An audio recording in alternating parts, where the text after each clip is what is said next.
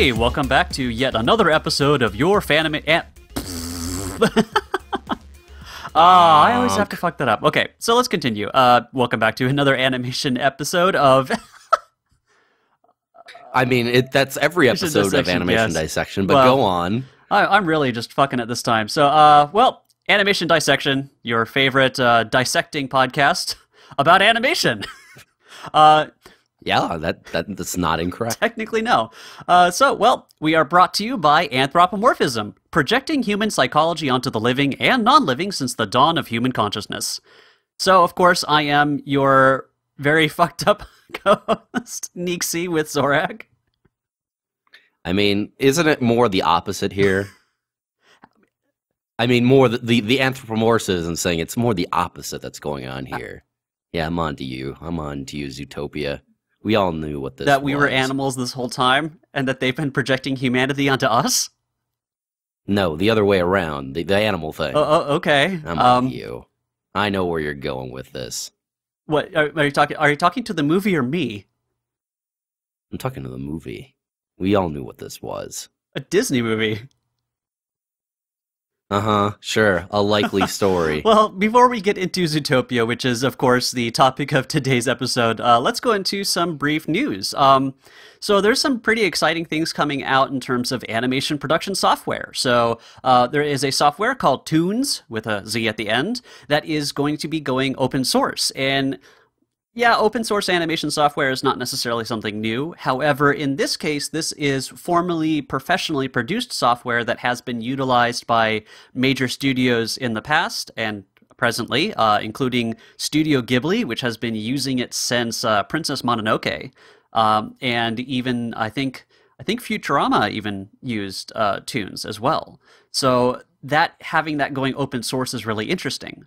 Um, alongside the fact that other uh, illustration software such as uh, Manga Studio, also known as Clip Studio Paint, is now including uh, animation capabilities. Uh, limited frames for lower versions, but with a, a larger amount of frames available to people for the ones who get the, the more advanced version of the software. Um, unlike Toonz, it's not necessarily meant to kind of directly compete with the these other software packages in terms of full production, but having that capability kind of starting up is really interesting. Um, I mean, there's also uh, a free and uh, illustration software called Krita, K R I T A, that has also been doing animation in there too. So I, I'm finding this really fascinating, uh, probably for, for quite a few reasons, just because uh, the pro- proliferation uh, of things like Flash and uh, other other forms of software packages to the public has really opened up the medium of animation. I mean, you can actually produce this type of stuff relatively easily with maybe even just one person at home, relatively inexpensively, and then put it up on YouTube. So just in terms of as an artistic medium, it's opening things up. So I find that really, and So, this is just an acceleration of it, making it open source. So with, with Toonz is open source. Is it like genuinely or open source, or is it more, hey, you can get this, but in order to use it for, say, like corporate uses usages, you have to get a specialized license? Is that how it's working, or is it the genuine like, hey, anybody can contribute to this project? It's never going to be a charged product Hmm. I'm not quite sure. I mean, it it seems like because those are two very different things Well- in terms of both the monetization and ultimate well, there there is going to be a premium version that's going to be sold at a Ah. competitive price, but it's just it, most of it is still going to be pretty much available to people. So I think if you want to Hmm. do maybe like full on production, like I bet um, it's kind of like how TV Paint is, uh, un- unlike let's say like Flash, for example, you can do all sorts of compositing and camera movements and things like that all in one without having to send it to a program like After Effects. So it the advanced versions might have just again more just more advanced features like that. So we'll see. I see. Because I, w- I was wondering if it was going to be more analogous to the way that uh, several like sort of like software engines have become you know public to use, where anybody can get them for free. But in order to get the license such that you can actually sell things using that were created using that engine, you have to actually get a specialized license that either has some sort of yeah we get you know one percent or five percent or whatever it is, or you have to pay some sort of fixed fee at that you know pricing. Well, level. they're also, I think, um, according to the article that I read, uh, the company, uh, I think it was called Digital Video, but the actual software has now been bought up by uh, what's it called, Dwango, which is a Japanese company. Um, they're still going to develop stuff for the software itself, and they're going to do things like uh, you know, installation, training, you know, and, and customer support types of things for, let's say, a studio that is setting it up on a whole bunch of computers and trying to, you know, form a, a pipeline. So I think they're still going to ha- make their money that way as well as with the premium mm. version. But I think overall, there's just going to be a package available to pretty much everybody. And I think what I mean, it does serve them a, a bit well. It, it acts as um, advertising. It, it, allows a lot more people to learn that software for free. So that way, it's a lot easier to then sell that software to studios to go, okay, we have a whole bunch of people who are trained in it already and who use it on an everyday basis. You don't now have to spend time and money training people on this new software. Because mm-hmm. otherwise, mm-hmm. right now, it's like, well, do you know Toon Boom, Harmony, and do you know Flash? like you have to be trained in those types of softwares it, and because most people are trained in that type of software already it's a lot easier for studios to say like okay we don't have to spend that money you know uh, and time trying to get people adjusted. They already know it. So we just have to buy install and set up the software. So i think this is this open source thing is both you know maybe it is a, a, a way of saying hey let's bring you know let's let's democratize the medium but I think because it's still a private company, of course, that this is also going to be working as kind of a tool to help it become one of the one of the standard software packages out there. So um, I think uh, there was a quote. Uh, let me see if I have it still here. All right. Uh, According to the managing director of Digital Video, this deal will also be the starting point of a new exciting plan to endorse the open source business model by supporting and training and customizing Toonz for old and new users. So I think the idea is that they're doing their business model off of having the open source as as kind of a, a networking tool and a training tool and a standardization tool. So it's like, you know, uh, it's like the format wars, but in terms of production as opposed to, you know, VHS versus beta versus DVD versus HD DVD, etc. So I think that's what's going with that. Um, it's, it's not open yet. It's going to be. So I think it's going to be sometime later in the month. Um, I think maybe I think it actually might be going free this week as of recording.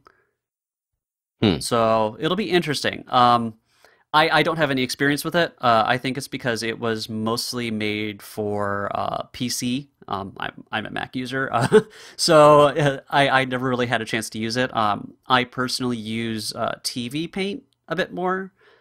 It, it's difficult when it comes to animation software. There's really a lot of different people who use different things, and it, it depends on sometimes even where you live and what the standard of the industry is in which you live. So, like people would say the East Coast, like New York, was using Flash for a really long time. Um, the studio, the last studio I worked at, used the old Macromedia version of Flash.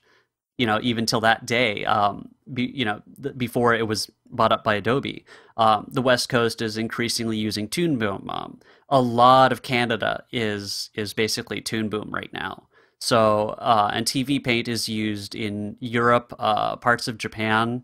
Um, it, it, so it, it's it's going to be interesting to see if this becomes another one of those you know uh, standard animation softwares. How cross applicable are is like experience with those tools? Like, can you actively apply experience with say Toon Boom to like say Flash or something like that? or yeah, or is it like is it not really like applicable like I think experience beyond just general and animation concepts, just general animation experience? Yeah, I mean that's the thing. Uh, I I have not had a chance to really go into Toonz.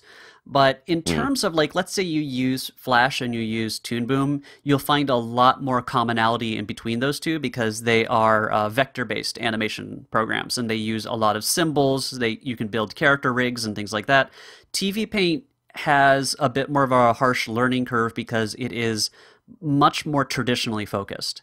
So people who are used to having certain types of shortcuts and being able to reuse uh, symbols and assets will have a little bit more of a difficult time. But it has its other strengths in that it has the much more traditional look and feel. It, it ha- it's it's a raster based uh, animation software. Um, Toonz, hmm. I, I know very little about. I mean, it was such a highly specialized software. Um, I think there is also another software that's used in Japan called Retas, R E T A S. Um, and that one I also don't have much experience with because many of these were just difficult to get hold of. I mean, and find training in. I mean, you know, go, go you can go to a lot of community colleges and take a class in Flash. That's how common it became. So I think making it open source means that they don't necessarily have to do this um, academic or, or training framework as heavily in order to you know uh, introduce it into the general market. So yes, some of the skills can be transferred over, um, I, I, think just the principles of animation and maybe certain types of techniques and keys and keyframing. But when it comes to the actual tools themselves and shortcuts and just the interface, that's probably going to be a big difference. Hmm. So, like, how how long does it? Like, would you say? I know this is kind of a general thing that probably depends from software to software. Like, what is like for you, for example, who has like a some sort of background in this, certainly like what would be like the training time to move between programs like is it like a considerable you know barrier to uh, hiring on a particular on one coast versus on the other as a result because of you know the differences in the tools like oh we we need someone who has experience with Toon Boom because it would take us you know months to get them you know up to date with how to actually use it in such a way that they actually fit within our workflow versus oh no you know they you know their general animation and art skills and you know experience with other animation programs you know it wouldn't take them that long to become familiar in you know be a part of the very i would I presume is a very fast process um, it definitely depends on the person and their background, but I would say mm. that someone who does have experience in more than one animation software package, just in general, will probably have an easier time adapting to like a third or fourth one just because they have that mental flexibility and there's there is a commonality in all of them to some degree. Um, I would say maybe for someone who is a quick learner, um, it might take maybe a week I mean, if, if you are a quick wor- uh, a quick learner and have some experience with the software, maybe you weren't an advanced user, you might not have used it in a studio environment. I mean, here's the thing: is also even with the software, studios will sometimes have their own production method and and ways of you know like labeling their layers and the steps they take. They, they all have a different style within that. So even if you are familiar with the software already, like I let's say I I know like Toon Boom really well, well a given studio might use it differently.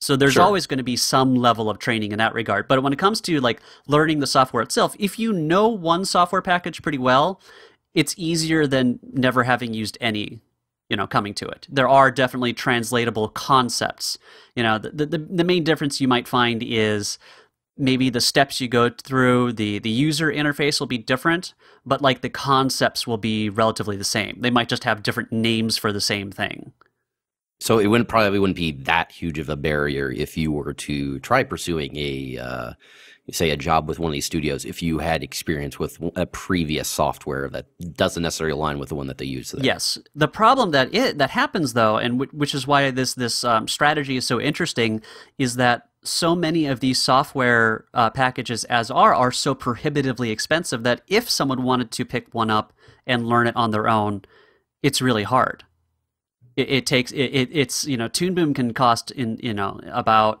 like nine hundred to thousand dollars. I mean, they might have some demo versions, but if someone really wants to sit down and learn it, it it's very expensive to do so. So having I mean, with a lot of that's a lot with a lot of that self teaching stuff, it's always traditionally been that often people do end up, you know, pirating it for one reason or the other. I mean, that's that's the history of Photoshop, for example. most Adobe products is just like, hey, the vast majority of copies that aren't being used in at a corporate level, you know, because you need to have a corporate license at that point because you can't actually go and do the more illicit approach.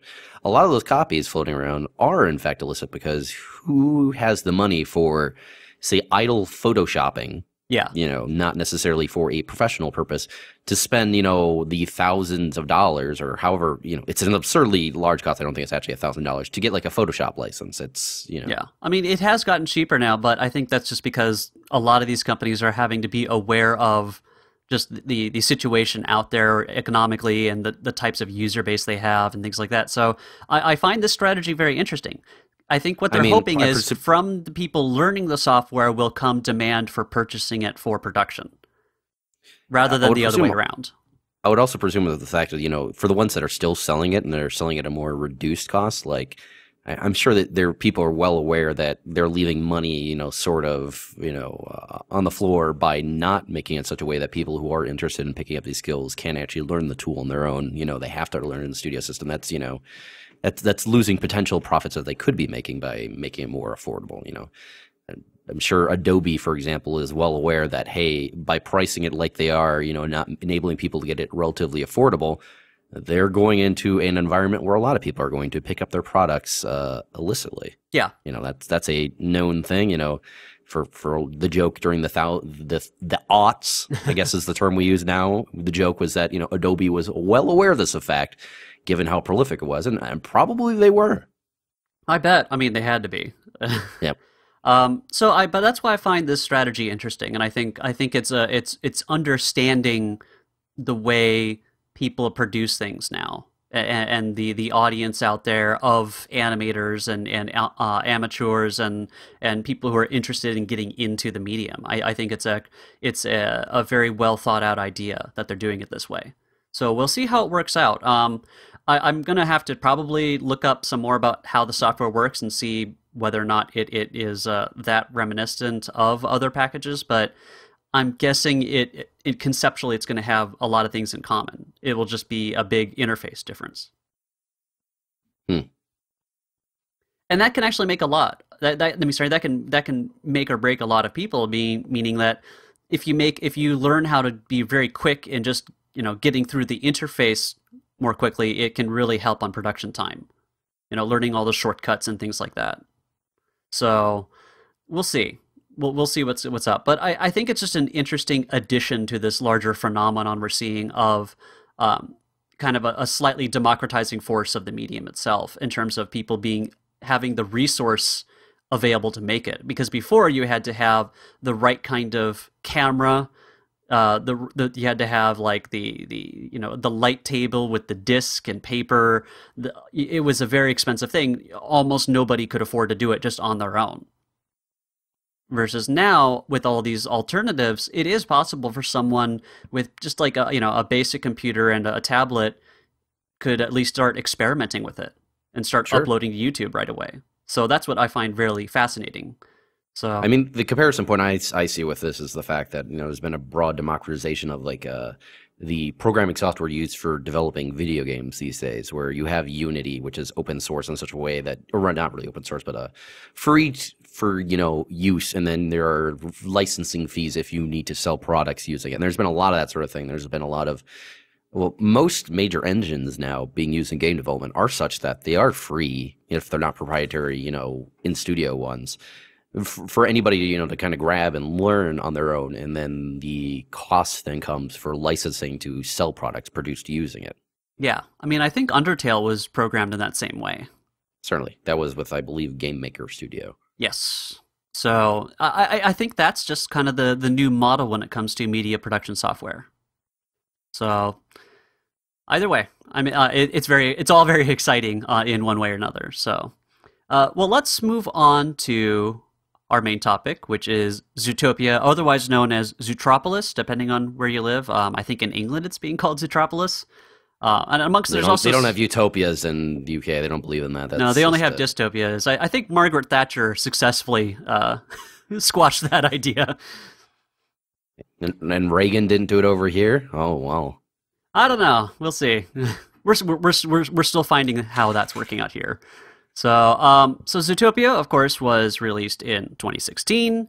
Um, it is di- directed by Byron Howard and Rich Moore, uh, who you might recognize as being involved in Wreck It Ralph, amongst other things. Um, Byron Howard is a longtime uh, Disney animator who has worked on projects, I think, even back to Pocahontas when he was like an in-betweener. So he's he's been a part of Disney for a long time. Um, Rich Moore, if I recall correctly, did a lot of stuff for like The Simpsons, and I think he even did uh, a lot of directing on the uh, Futurama uh, original series, not not the uh, Comedy Central ones. Um, so. It, I think basically this is like a you know a return to the team that did Wreck It Ralph, essentially uh, working on this film.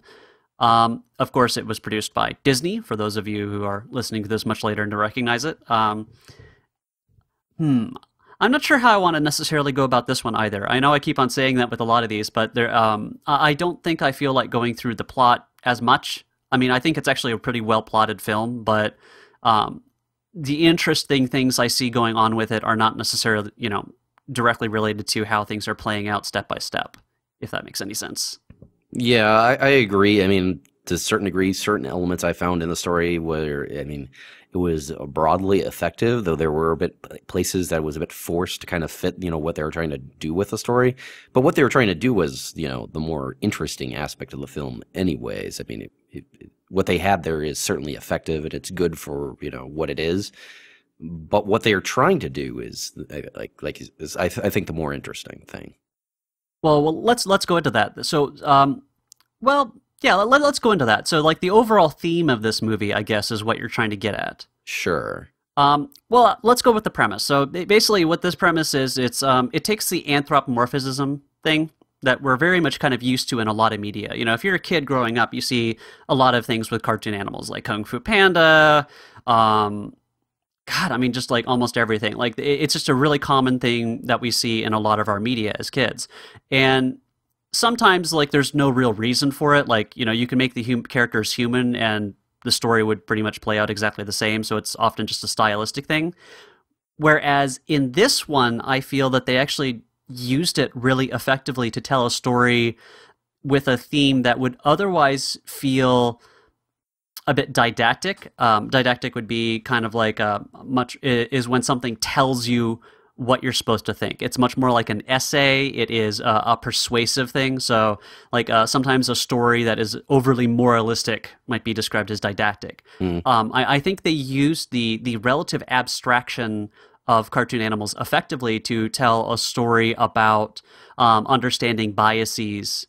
Uh, much more effectively than and, than if they had done it with human characters because I think what they wanted to do was tell something much more universal that goes beyond i think what a lot of people have done when they analyzed it they view it through the frame of race. And i think that's one aspect but i think this film is even more universal in that it deals with our biases in terms of like uh, you know the body types that we see, the the uh, someone's background, heritage, um, you know uh, what we what we assume about other people and what we project onto them in terms of identity. So it could it could be gender, it could be um, sexuality, it could be all sorts of different things. So by using you know the the, the relationships and, and the, the the social struggles within this universe, it, it becomes much more universal than just doing a film about uh, you know a difference in gender or a difference in race or a difference in you know many of the other ways that people are different.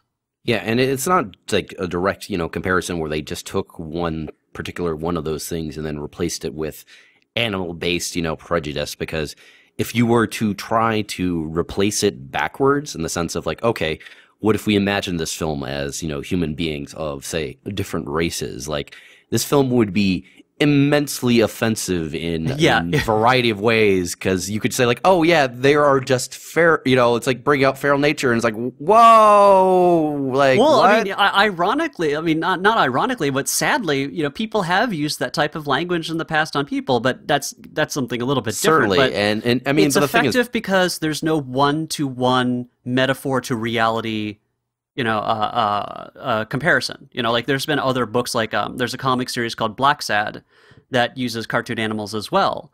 Um, however, it made the mistake of going, okay, well, black fur is basically like black people, and then white fur, and it just becomes a confusing and utter fucking mess because animals don't behave the same way as humans you know and, and trying to translate human characteristics to animals along sides of racial caricature is horribly offensive so the movie did a really good job of keeping them as animals and not as um, you know, a, a, direct relationship like, oh, this species is this background, and then this species, you know, they're like, the, you know, this group of people. They didn't do that. I thought that was a really smart decision. Yeah, and though it also allowed them to kind of have their cake and eat it too, in the sense of like, okay, we're going to talk about you know animal stereotypes here because that's where we're going with this. But it allowed them to both you know do a lot of their jokes being, you know, like, oh yeah, this animal really aligns with this stereotype, and oh, this animal really bucks this animal stereotype. You know, it subverts it, and that you know, it's it's kind of it's a little bit disingenuous and contradictory if you try thinking about it too much, but it's also kind of the core of how the movie fundamentally works because a lot of the gags are based off of, you know, our idea of how different animals work and, you know, and how, you know, they, they kind of play around with that, both in, you know, embracing and kind of moving away with from it. Um, you know, they the, the the the joke. They have an entire scene that's prolonged about you know, like, oh yeah, this elephant doesn't know anything. He doesn't have any memory. Meanwhile, yeah, she, she forgets everything. Yeah. And then they have like a hippie donkey, basically having perfect memory. And like, boy, I wish I had memory like my elephant friend here. Uh, blah blah blah blah. And that that was like the joke of this extended scene. And they do a lot of kind of things like that. Um, you know, it's just it.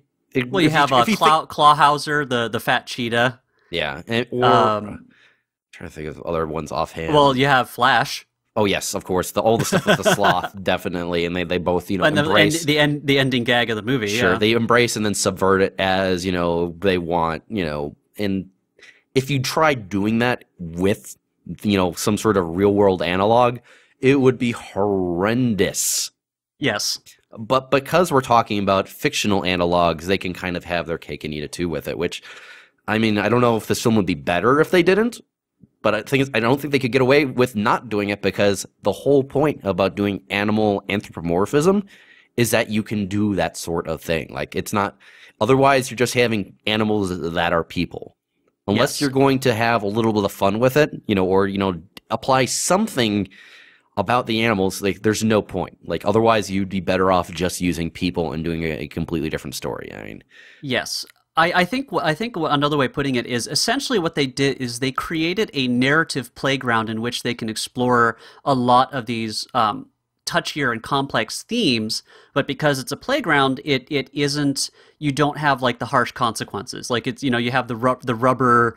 You know you have the sand pit instead of the cement. You know when you fall down when or when you're showing something that's harsh you know so so they created this environment in which they can you know talk about a lot of the of the stuff much more generally than being specific so that way the the themes still have their power without necessarily falling into the pitfalls that specificity can sometimes you know um, uh, hog tie you and it, it allows sense. them to avoid getting a little too close to home Yes, uh, while I, still they... invoking things that you know are more closer to real life. I mean, I, would be very curious personally about see how this film would play with someone who uh, might fall within a background that has been traditionally you know prejudiced against. You know, I'm yeah. I am the most you know white bread you know uh, very lucky person, or not necessarily lucky, but very uh, privileged, privileged, person would yes. be the term. You know, I, I don't. I, have... I, think we both have to admit that. Yeah, yes. in the sense we, of like are, I don't we are have, both white dudes. yeah, I don't have a lot of comparison points to kind of go like, yeah, I, I, I see something of my life in this. You know, I, I don't. And, and, you know that that's kind of you know like you said like a privilege thing. So I'd, I'd, be curious how this plays to someone who doesn't necessarily have that background. Like maybe maybe things do get a bit too close to home in this at times, or maybe it does stick out. Like boy, them, you know, both mocking this thing and then playing around with it, you know, is a little fucked up. You know, maybe maybe to other people would feel like that, but I, I personally going into it with my background, I, I, think it worked well like that because it allow also allowed them to engage the audience both at a you know a more playful level, but also then you know kind of sneaking in the back with like, oh, we're being playful, we're having a lot of fun here. Oh, you have learned a lesson you learned a lesson, kids and parents. You didn't see it coming, but you learned. Boy, howdy, fuck you. We got there. Yeah. So, well, again, yeah. I think even from our position, again, if we're looking at it just through the frames of race, we, we might have like a completely different view. But I, I think the movie makes a really great, uh, uh, a great, uh, sorry, not a great move. I was, that was going to be a terrible rhyme. Um, it, it, it, it's very intelligent in that it is about biases in general. You know, like we all make assumptions about other people when it comes to maybe someone's political background. You know, we might, or where they're from. Like we might assume someone from the South is always going to be, you know, like a right wing, you know, Republican or something like that. You know, our, our assumptions aren't always tied to race. It's tied to a lot of things. So even I think both of us, we, uh, you know, we have maybe experienced similar assumptions about us throughout our lives. I mean, not not with as much social consequence uh, as other groups, but it's at least you know a recognizable phenomenon to pretty much all human beings, Sure. which is why I think this movie plays really well. It, it doesn't require you know being about a, a racial minority who have faced you know uh, this horrible uh, systematic you know discrimination. It it can also work for people I think who are privileged being able to see and recognize that phenomenon and maybe examine themselves. I mean, sir, I mean that's the, the, the ideally that would be the plus side of this. I'm just oh, more. that I'm would just- be the hopeful. yeah, I'm just more the sense of like I wonder how this plays to a group that is more traditionally like you know uh, uh, in a disadvantaged position. Like what what would their Yeah. you know take away in the sense of like do they find this valuable? Do they find the find this pandering? Like do they find this exploitative? You know, I, or, be more or curious about condescending, Sure. etc. Yeah, I mean, there there is a possible rating of it. Um, so I, I think again, uh, you know, people who are listening to this and, and hearing our opinions, understanding that the frame from which we're speaking, you know, I, I think helps understand that, like, you know, our viewpoint of this film is going to have, of course, its own bias. The whitest kids you know. Yes. so um, I, I want to go into the art um, because I think this is probably one of like the most visually stunning uh, films I've seen in a long time when it comes to CG. Um, the environments themselves are just. I mean, I want, I, I kind of want to see a game that just lets you walk around the city, just because the building designs are are just so interesting and and it, it feels like they didn't just make a city and just put animals in it. It feels like a city that would have been built by by these animals. Mhm. Like you, you see a lot of um, the architecture itself is very much influenced by nature. Like you'll see a lot of curves and tree motifs when it comes to like support beams and like window shapes and and and, and um, also like the amenities, be having to uh, build a city that can encompass all these different, you know, uh, sizes and body types and and just like you know living needs is just you know really interesting how they they solve that problem. Um, it, it's just it's just really well done. I mean, and the art, the character designs themselves are just absolutely charming. Um, they were done by an artist named Cory Loftis, who is just you know an utterly fantastic artist that I, I've liked for a while. Um, it, I just the, the, the designs. Um, I'm trying to think. It's it's hard to find the right word sometimes with it. Um, they're full of personality and they. Um, I don't know. I'm, I'm just kind of lost at the moment. I mean, personally, I, I got the art book, and, and the art book is like you know 160 pages, and then there's probably it could it, you know you could probably fill like eight books with the amount of art they've put into it, and it's it's you know the pre-production on this thing must have been insane. I mean, personally, my, my takeaway is like I I think it's very good, you know, design, very great art. Uh, personally, I would have preferred if the character designs were a little less uh, Disneyfied in the sense that it still feels like, oh boy, we took the same Disney models that we've been using and all of these like sort of 3D things, and we, you know, turned up the animal slightly. Hmm. Personally, I would have preferred if they went more in the opposite direction with it, in the sense of if this was more uh, animal than you know people animal. I think it, So so you wanted a little bit less anthropomorphization visually, yes, that that or maybe less abstraction in, in visually. She, I would I prefer to be more, you know, and I, I prefer that things were a little less clean, a little scruffier in the sense of like, in general, it. I I I just look at Judy's face, and while it is not exactly the same as every other face that we've been getting recently, it is also pretty much the same as every face we've been getting recently in the sense of like boy the, the the artistic fundamentals that like kind of scientifically develop a face is like this is going to appeal to kids and everybody's going to find this cute you know? Those principles are still in full force in every bit of the major designs that they're working with. Everything feels very it's a house style. it's a it's a house You know, style but it also Disney. feels I mean, you're looking back at Jungle Book, you look back at Robin Hood. I, I think they definitely borrowed certain stylistic elements from there, or recalling back to it when they were coming up with the overall style and how they were going to do it's, this. it's a house style, but it also feels so like I wouldn't say like by committee, but like you know, kind of like scientifically engineered to meet their exact purposes in terms of audience appeal. Like they've, they've focus test this shit to death, which yeah, sure that means it's going to fulfill its purpose, you know, grandly. I'm sure compared to what I would have personally preferred.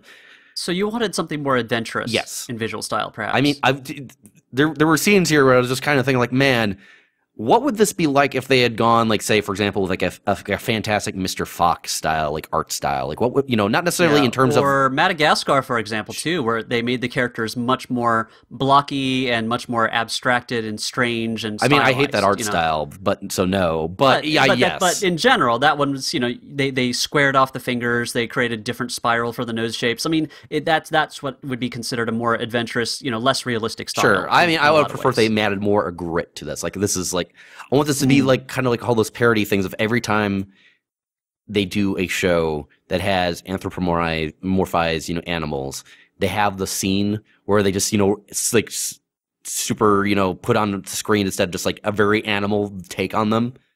Like, oh yeah, this Hmm. is just a photo of an dog talking, basically. I wanted like that. I wanted it scruffier. I wanted it to Hmm. feel more animal than you know anthropomorphized human. Because to so more animalistic. certainly, and, and, you know, and to a certain degree, like the the amount of anthropomorphism in you know play here kind of took me out at times, just because it's kind of like, uh, it's a they're still behaving too much like yeah, humans. it's it's still too human in general. Like I, I feel that they had to do that narratively, However- but still. Well, I mean, to ma- to make let's- well, let's take that argument further. Uh, If they did make it more animalistic, would it possibly have been a little bit of like an alienating layer for the I'm audience sure. or the theme? So I, I think they intelligently picked a level of, of, of human and animal to kind of balance it out. I mean, for, to, to make it disconnected enough, but also still keep that thread of connectivity to the audience and, and making them a recognizably human enough to empathize with. Sure, them. and I, I agree that it probably what they the decision they made was not the wrong one, and that's not what I'm trying to say. Oh, They made the Yeah. correct one. Their you know pocketbooks Well, are playing amongst- that out, you know, in the sense of like Yeah. yes, they are very good at making sure that they make correct design decisions. Nobody's going to say that you know Disney is bad at that. They've got plenty of money to go into focus testing everything beforehand to make sure that they're making the correct design decisions. Maybe not their first decision going into the project, but they'll get there eventually. I'm, I'm just saying that personally, in terms of like what I appeal, like I'd have preferred something that was a little weirder visually, or a little you know scruffier, you know, L- a little more David Attenborough than Frozen. You know what I mean? no, I see what you mean. Um, I, would say one of the things though is uh, I would also compare it to like because right now it seems like we're having this huge renaissance of cartoon animal films. I mean, there's this. Uh, I don't know if you've seen the preview for this one called I think Sing. No, I haven't.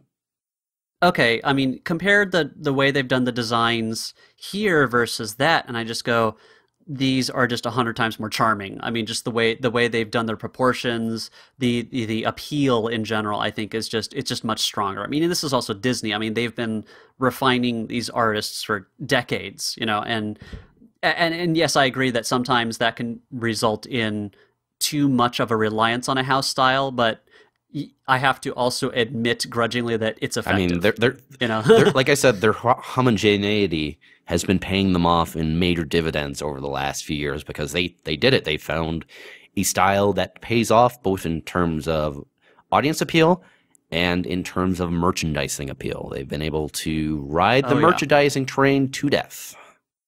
yes. Well, that's I mean that's how they are able to then maintain this level of quality production wise. Well, well. it's also their way to maintain their you know death grip on the industry. well, their profits, but still. I mean, but in order in order to even fund this type, I mean, again, the amount of research, like they flew the artists off to Africa, they had them talk with all these experts. I mean, you know, production doesn't suddenly just start and you have the film done. I mean, this film also went through a whole bunch of different Oh, I'm sure. concepts. I mean, I don't, I don't know if you you you've ever heard of what the original concept was going to be. Um, it was originally going to be well, I mean, amongst many. The, at very first, it was going to be like a, a 1960s style spy thriller with Nick Wilde as the I mean, main that sounds character. pretty good. That sounds pretty cool. Um, but it would have it would have felt kind of generic, you know, like it, that. It's just that type of story, but now with cartoon Hmm. animals.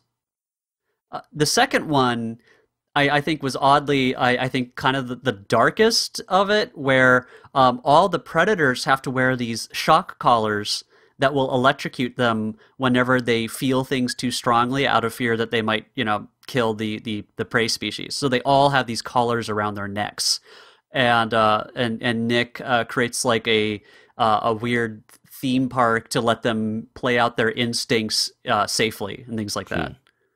but like I and I, I'm kind of glad they didn't do that because in that case you have a really fucked up society that's not worth saving. You know, the idea of having it being a utopia, you know, Zootopia in the title, I think that's a, a really strong way of doing it. Is that these characters, uh, there's at least an ideal that they have to live up to. Uh, that you know, that I think the movie also acknowledges, like, yeah, you know, the world was always broken, but we try anyway. I have a question, real quick. Maybe I Yes. missed this. What is it that the carnivores are eating now? Um, well, they only have mammals. So are they eating fish? Are they eating like They're lizards? pro- they're, we saw they're, they're in the background. There's a fish market that you see in um, in like the ice town. Mhm. So I think they are probably eating that. But you also see, you mean you see Clawhauser eating donuts and cereal. yeah.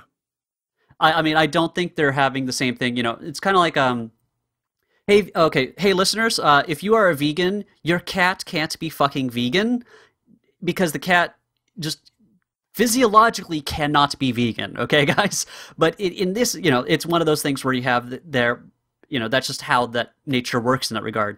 I think because these characters are evolved. I mean, they even have the idea that these characters Yeah. evolved. Like they have the Natural History Museum. So I mean, we're we're having to assume a different form of biology to some degree.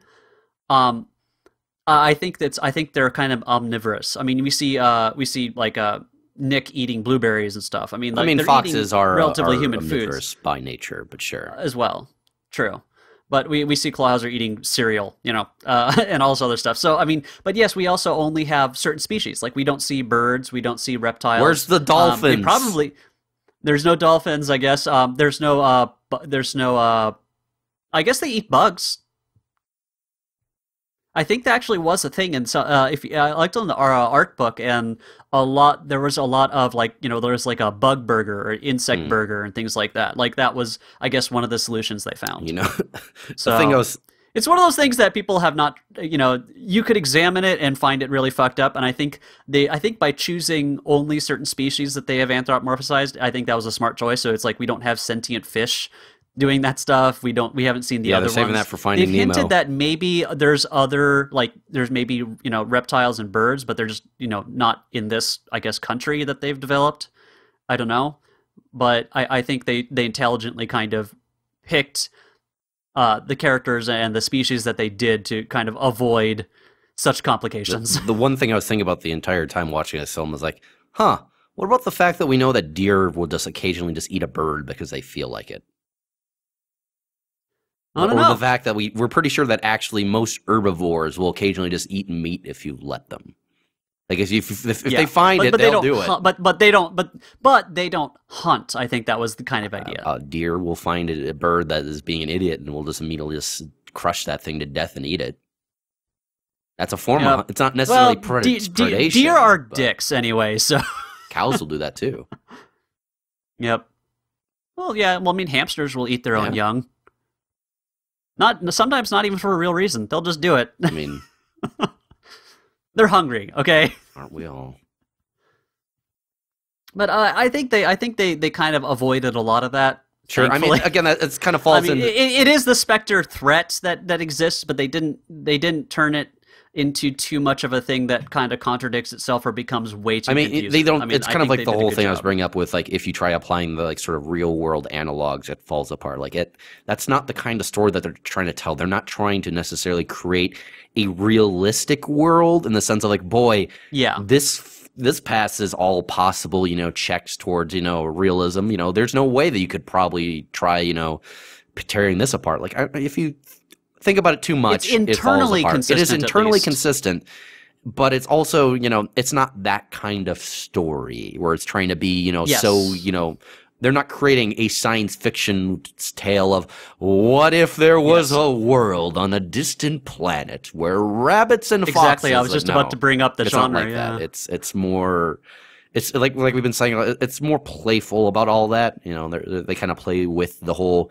food and predation thing rather than making it a major feature by any means because that would just make things overly complicated and that and darker than sure and it would also mean that they would have to devote way too much you know film real estate to trying to justify and make things work like oh it's because they're eating bug burgers and here's why bugs aren't intelligent anyways. Well, it would it would have been unnatural for those characters to have to bring it up because that's just the way the world is for them. I mean, You know, it, it would have been really oddly exp. I mean, the most exposition they do is like the first scene in the the film itself, when she, they're doing the the the, the school sure, play, which was a cute approach. which I love. I loved. I thought that was hilarious. that was great. Um, I, I liked her performance in that at the end, what as she's uh doing the streamer of blood and then goes for the Mhm. ketchup.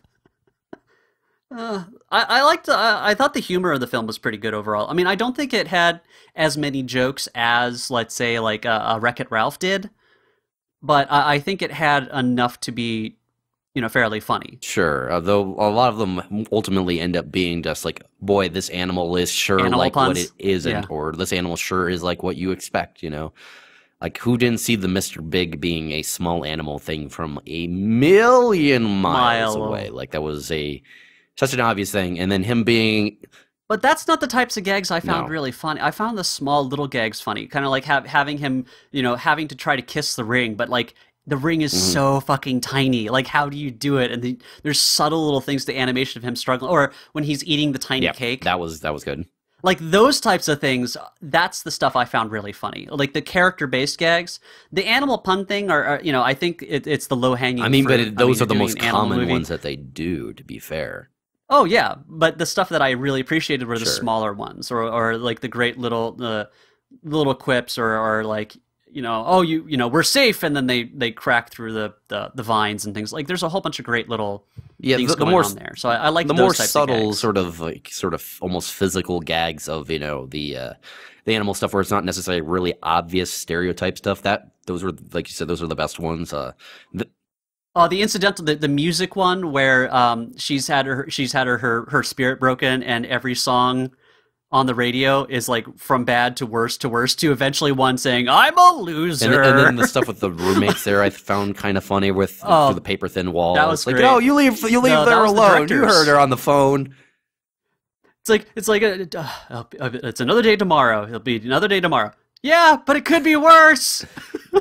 Though that, that was Those were that was those were voiced by the directors actually. Yeah, but that, that was pretty That was funny. cool. Uh, I think the, the the gag in the movie that I honestly laughed the most at was the uh, pirated movie gag. yes. Oh man, in, when I in the theater I was in, the audience lost their shit. I mean, it at worked really gag. well. Like Disney knew what this was. They knew how what they're dealing with here. I wonder. I wonder Yeah, how much of that I- I joke that played was- in like a foreign country that has you know significant markets that kind of get are involved with that. Oh, the gr- the great the yeah, great I wonder how market that plays I mean, in like yeah. the gray market countries. Like, well, what would like a China, which is a very prolific. Oh, this is this this movie is actually beating records. Yeah, so I wonder how that joke plays there. I wonder if they if they love it. I wonder if they changed that joke. Well, they actually did change a few things um, depending on where you're located. Um, really minor. I mean, again, besides the name of the movie, um, one of the newscasters would be a different species and voice actor depending on I saw where that. it was released. So, yeah. So in Japan, he's a, uh, a tanuki. You have, um, I think they're a jaguar in South America. Um, we got moose. and well, moose. We we have a moose. I think England has it too, but they have a different Hmm. actor for it. Um, and then, God, there's another one. It's a, oh, of course, uh, China. Makes it's a sense. panda. Um, if you look at the, the the movie poster, you actually see the panda, the tanuki, and the other ones in the background Hmm. too.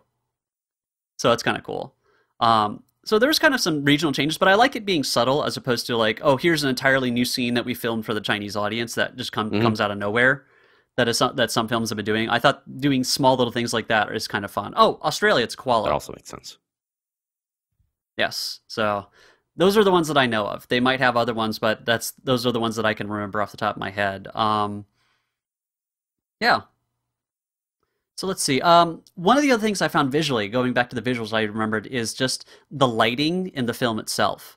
Like the way they, they did the time of day, the the the positioning of the camera, the the the cinematography overall in this was like in certain shots were just absolutely beautiful. I think like the the opening shot to um the I guess it was a formerly an insane asylum where all the that that opening shot of it is just it's it's hauntingly beautiful in in the way they did that. Um you know some of the scenery when they go to the uh, the jungle based area. I mean it it it it's like I would print this out and frame it. Just the way the composition and the lighting and, and everything is so meticulously arranged, even if it's cluttered.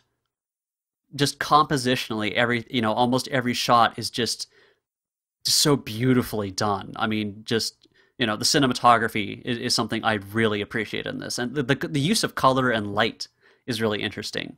Um, uh, on the the you you'll notice in certain scenes, I think they added emphasis to the the uh, canister of fox repellent at her Mhm. waist, because in certain scenes it's the most colorful thing, uh, or at least the most saturated color thing. So it doesn't directly draw your eye there, but if you see it, you you you know if you're looking through the scene, you'll notice it, you know, and and that fits the character. You know, when when Nick says like, "Hey, you know, don't think I didn't see that." What you know, when we first met, that you had that you know canister of fox repellent. Um, oh, I loved the Mhm. parent characters. You know, the, the the the the first things that the parents say, I just loved it because it felt like such an um a self-aware anti-Disneyness to it. Because they're like, you know, it's like, you know why we're happy? It's because we settled. You know, like don't try.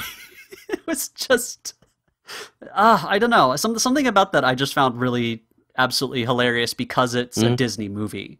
You know, coming into this film with the expectations of what, you know, these types of films try to teach kids, the, the, the normal messaging, you know, it, it goes against that.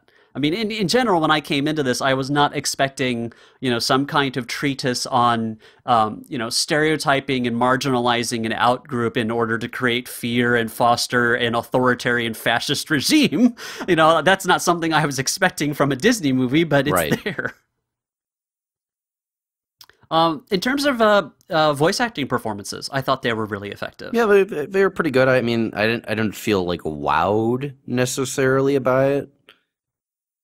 Well, I think the scene, I think there was a scene that kind of got to me pretty well performance wise is when Judy is apologizing to Nick um, to repair the friendship and things like that. I thought that was a really well done scene.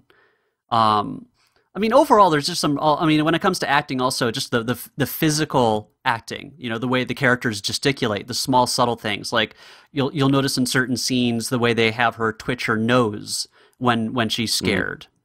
You know, they'll, they'll do small little things like that. Um, you know, the way characters will move their feet, the way they change their posture before they say certain words. It's just meticulously acted out, and I I, I just really Mhm. love how they did that. Um, and again, I'm I'm I'm also really glad that they allowed it to get dark in certain areas.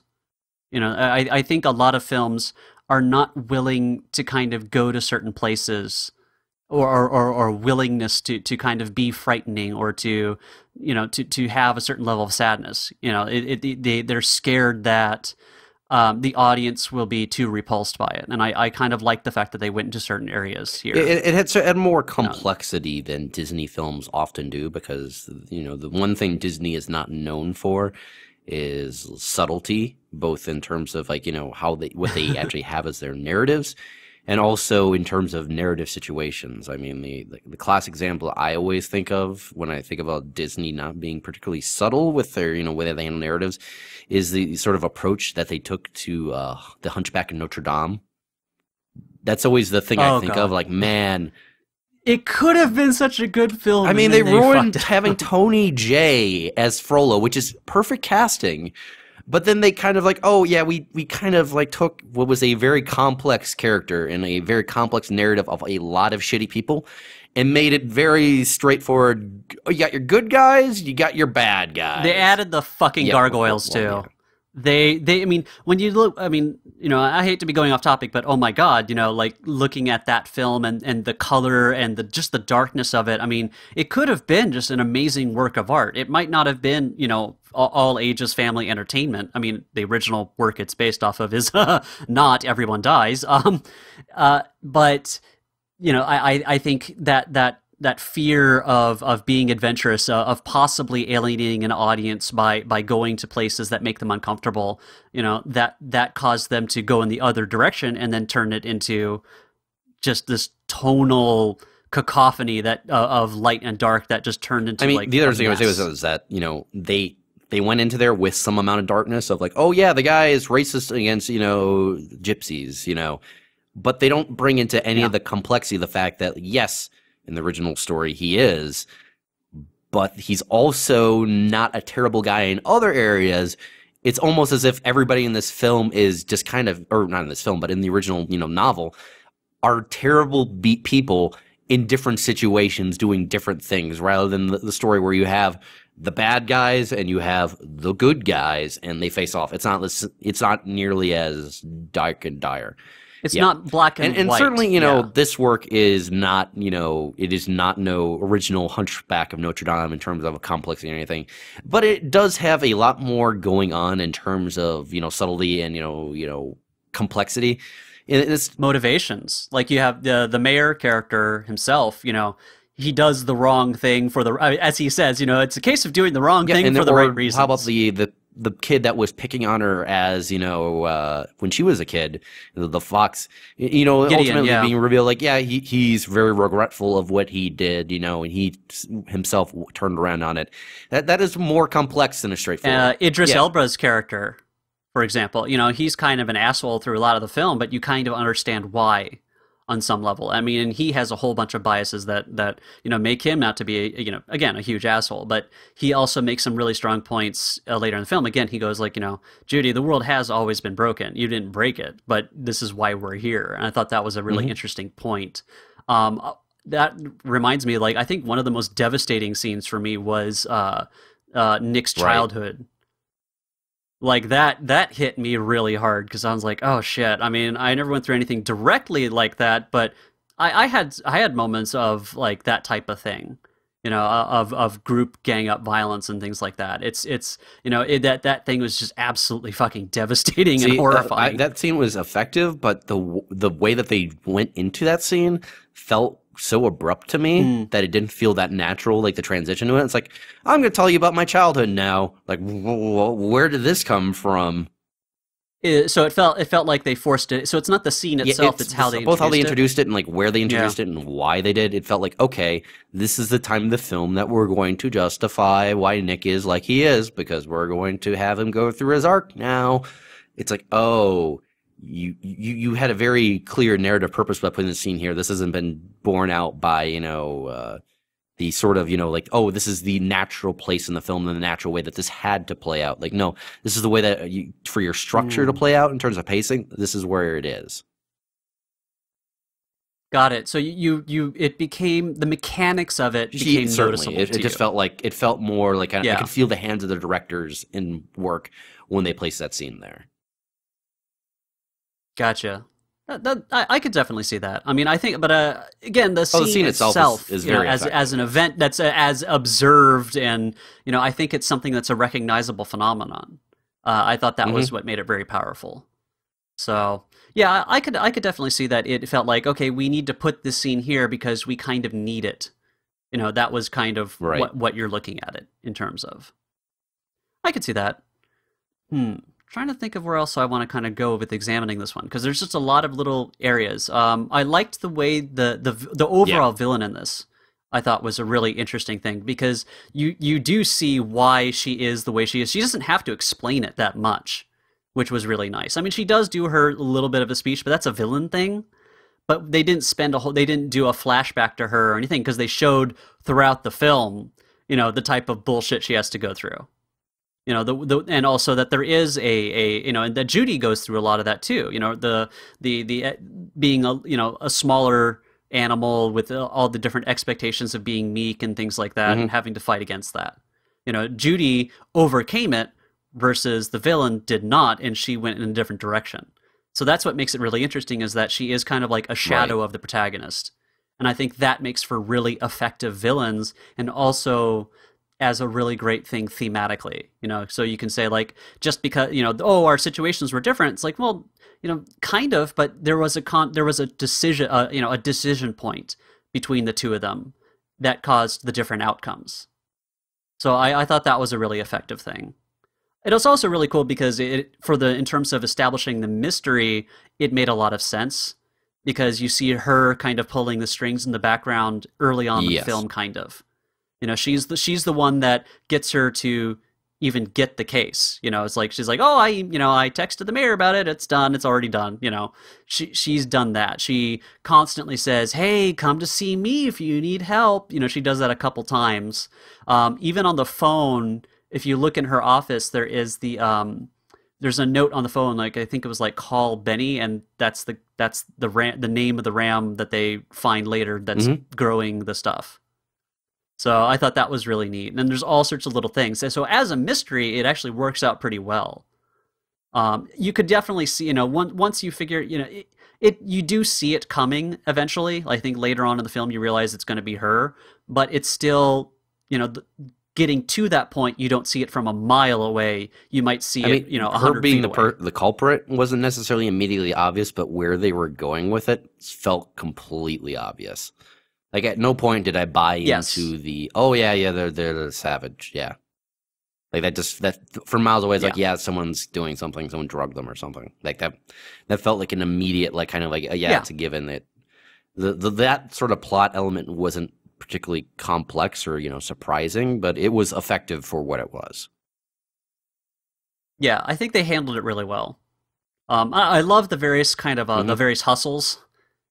Uh, I, I love the way they did the the popsicle thing. the The whole popsicle scene was great. Um, the little things of her being really condescending Yeah. to him was kind of funny. Oh, you're so articulate. You know, it's like, oh god.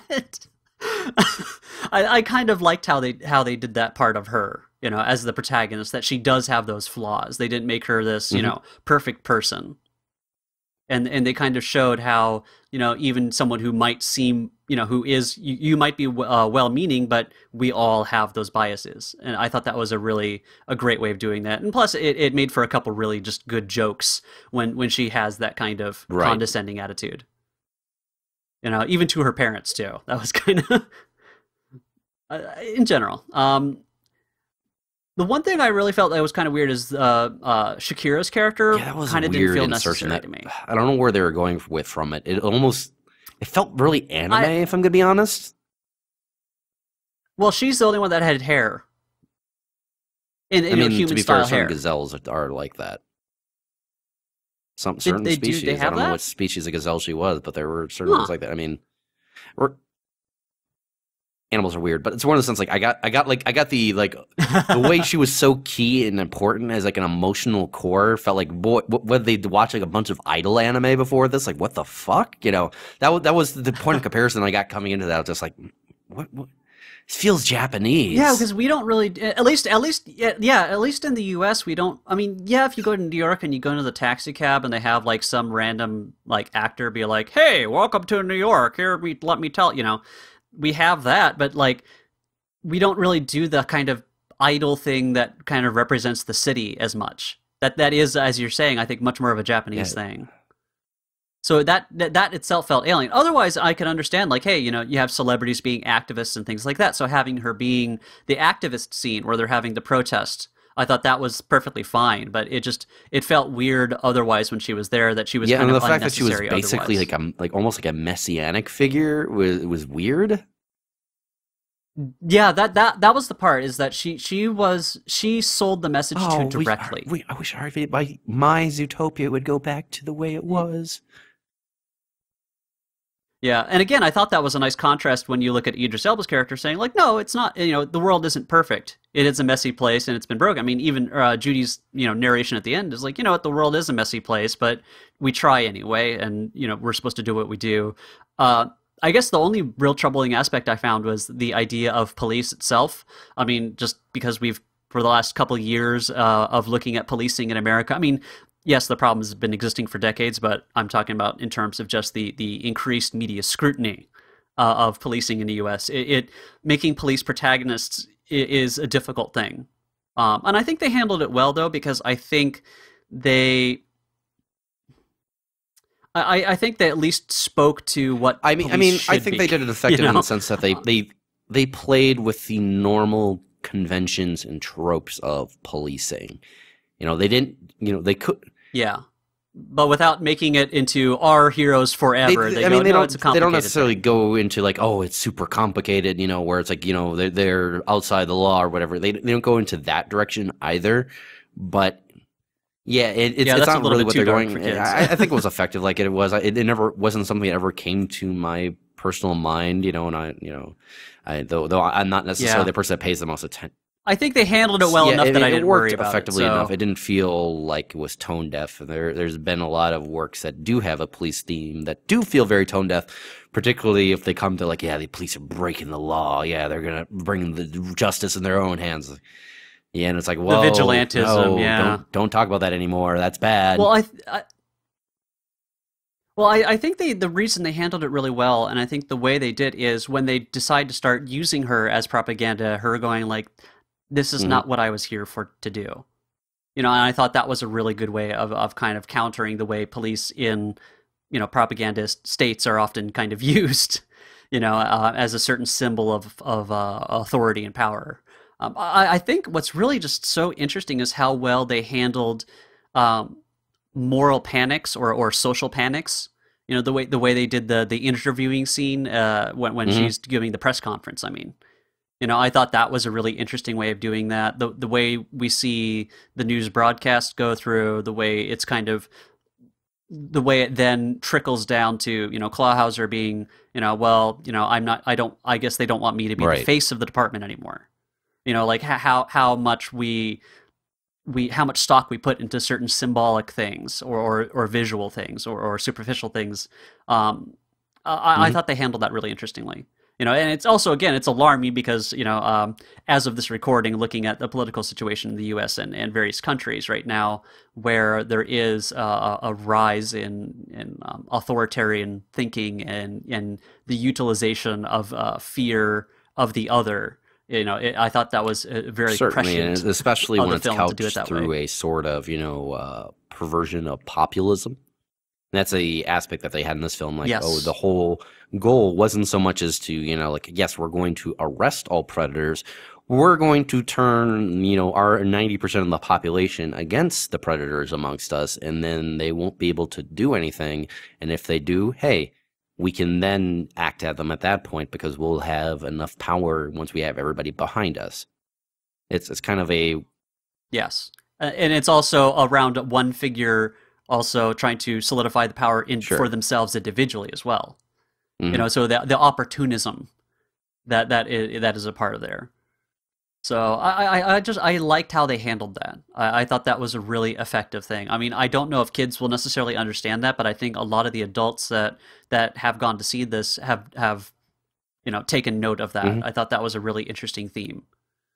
So, um, trying to think of what else. Uh, were there were there any other things that to popped think out there's to any you? other stuff I wanted to touch on. Uh, no, I think I kind of t- we kind of got all the big you know bullet points that I want to talk about.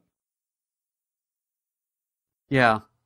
Um, well, okay. Well, let's talk about because this thing has been so successful. Where do you think they can take it from here? Um, I mean, these types of things are just ripe for sequels and things like that. But my argument is that um, I would rather actually like to see a TV series off of this because I think the world was so well developed and I want to see more of the city and, and the way that works. But I don't want to have to suddenly have them create a whole new arc for the main characters, which is what a sequel does. A TV series will let you kind of explore that world without having to undo the progress they made and then just you know create a a, a new conflict ad hoc. You know, so it would be kind of neat if there was kind of a you know a, a procedural drama series you know the you know police procedural you know uh parks and rec or brooklyn 99 style the- thing in this kind of world. I thought would be a, a neat way See, the if, issue if they wanted to that go is forward that with it. the more time that they spend in this world and the more time that they have to flesh out the periphery of it, the more likely that the sort of uh, structure of it will, in the larger questions, larger will become more apparent, yeah. or they'll start having to address them. At which point, again, the whole you Mm. know thing that they're able to get away with the fact that like, boy, this doesn't result in a lot of weird sort of situations and questions because you know it's it's such a lighthearted, short, tight thing that that that stuff then comes to the face and they have to address it, you know, to a certain degree, and, and they'll probably be not even have to; they'll embrace addressing it because they have some need something to talk about. It's either that or they completely drop almost all of those tropes together. Because I mean, I think about most you know Disney television follow ups to movies; they tend to drop all sort of you know elegance and tightness and darkness and you know they kind of they fall into the serialization because that's what works. That's what you know they have to do for those you know for those sort of things. And i think that the longer that they dwell in this world the more the the seams will show. Uh, personally I don't, I don't think they necessarily should Mm. you know venture back into it. I think maybe they they should just look at this and say like boy we didn't have to do another frozen exactly as it turns out to sell. Huh i guess we can continue to experiment in interesting ways and make profits while doing so Yeah. So basically, you want it to be able to stand alone as, as I mean, I think- art piece on its own. i would like it to Would you would like if it only to. for the fact that the more that they go back to it the more they're going to ruin what it is Mm. Yeah, I, I definitely could see that argument. I, I still say that I, I just looking when I look through the art book and I look at the environments that they created and just you know all the possibilities of the characters because again we only get to see small pieces of them.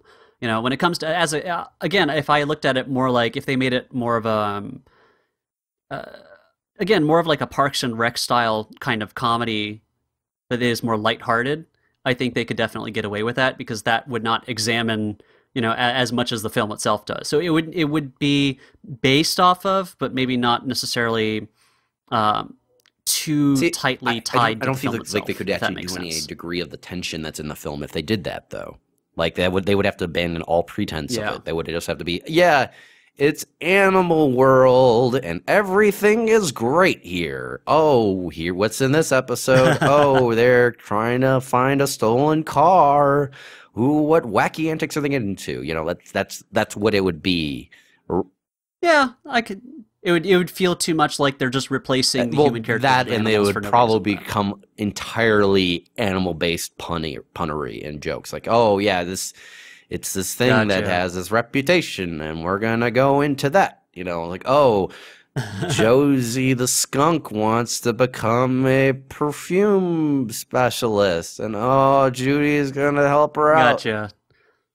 Well, see, I see. I'm I'm hoping that they would actually be, you know, better than that. But yes, I I, I definitely see that that I would be the mean, easy, pitfall for them to fall are into. the ones that almost everybody falls into like that they're the ones that are Yeah. very large and even though they're very obvious there are advantages sometimes into falling into those pitfalls as it turns out so you know from a Or at least pretending Well, you're I mean about more in to the and sense of, like, the other way. it's easy and easy is often cheap and effective when you're trying to make a Hmm. lot of content that you don't necessarily need to put in that much complexity in order to sell and, and, and if you're doing a tie-in sequel Gotcha.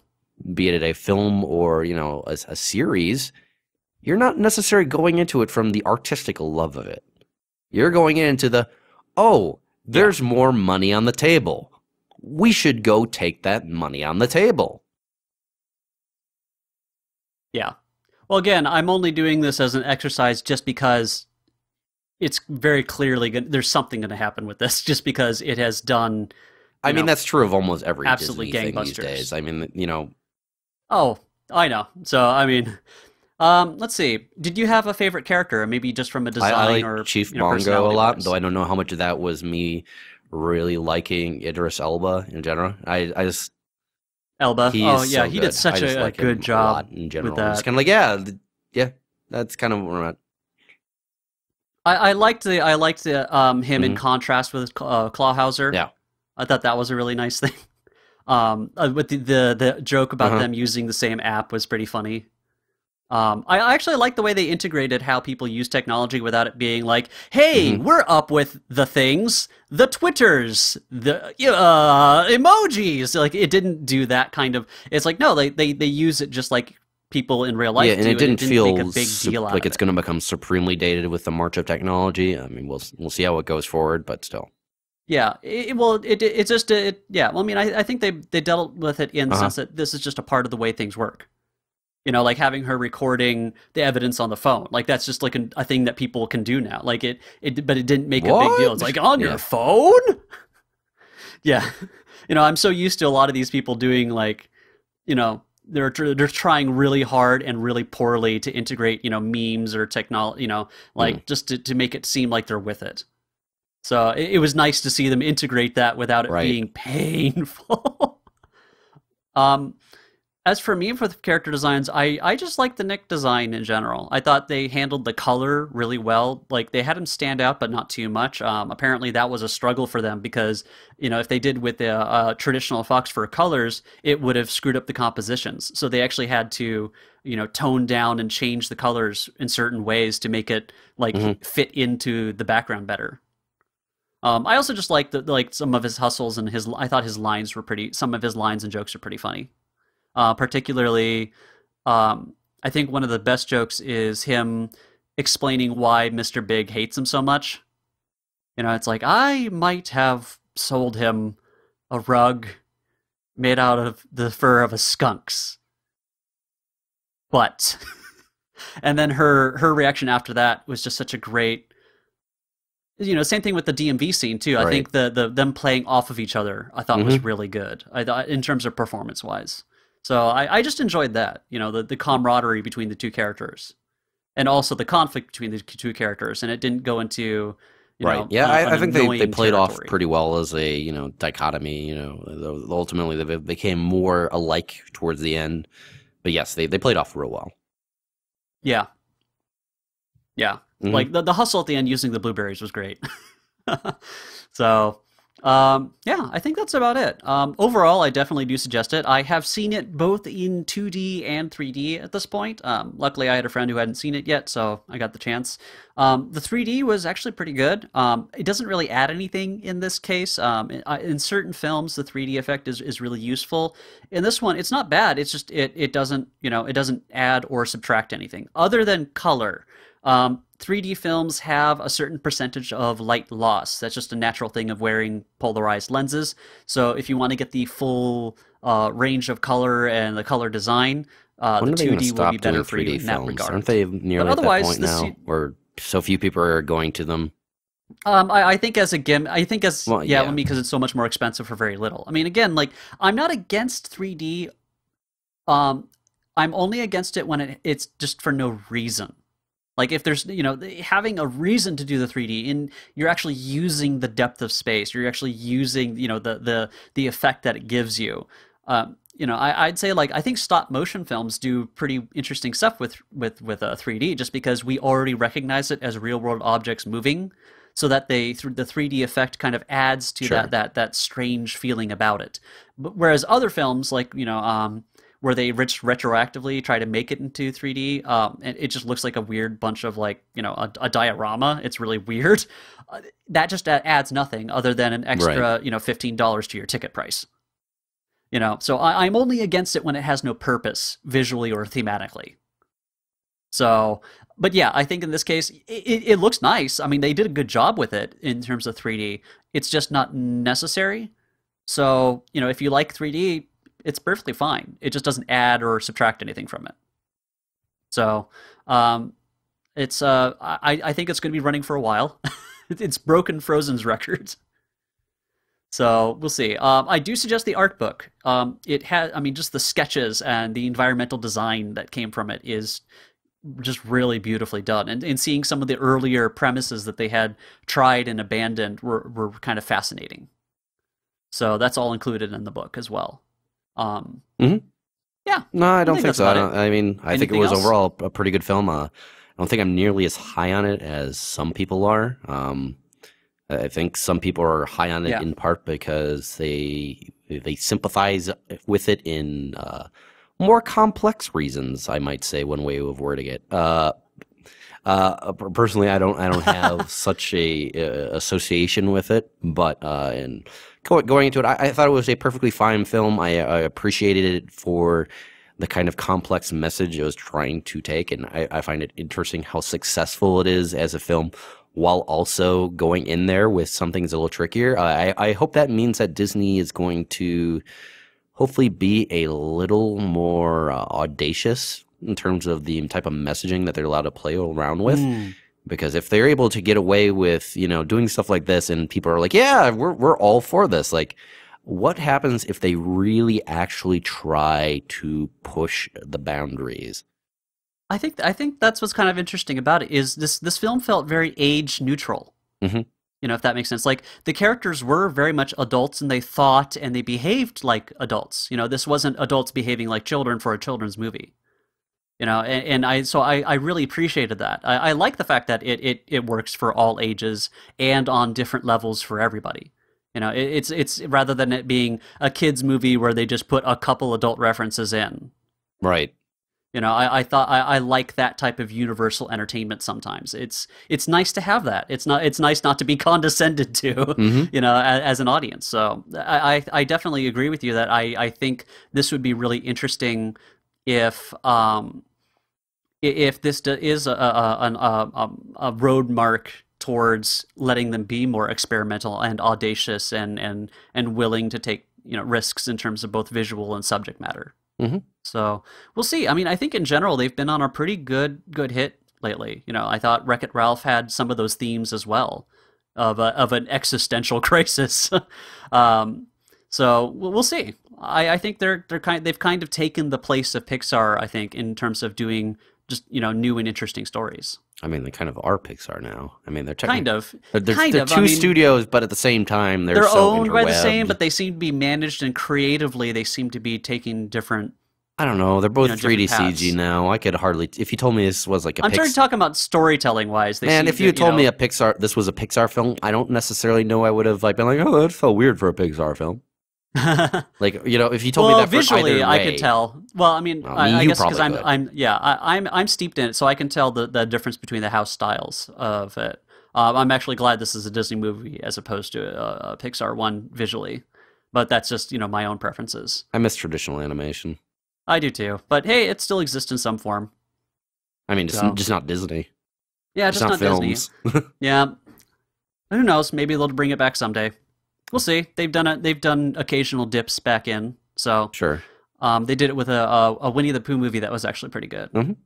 Um, so, well, let let's move on to what we're going to be talking about next time. Yeah. um, so, uh, I guess I want to explain the premise about why I'm choosing this one next. Um, so there is this upcoming uh, CG movie called Sausage Party, and it looks to be. I, I don't want to say like um you know from the start that it looks like it's going to be like one of the worst things ever made because I you know I I, can't uh, rightfully say that because I can't possibly encompass the entire universe in, in, in things that haven't made. But it looks pretty pretty down there.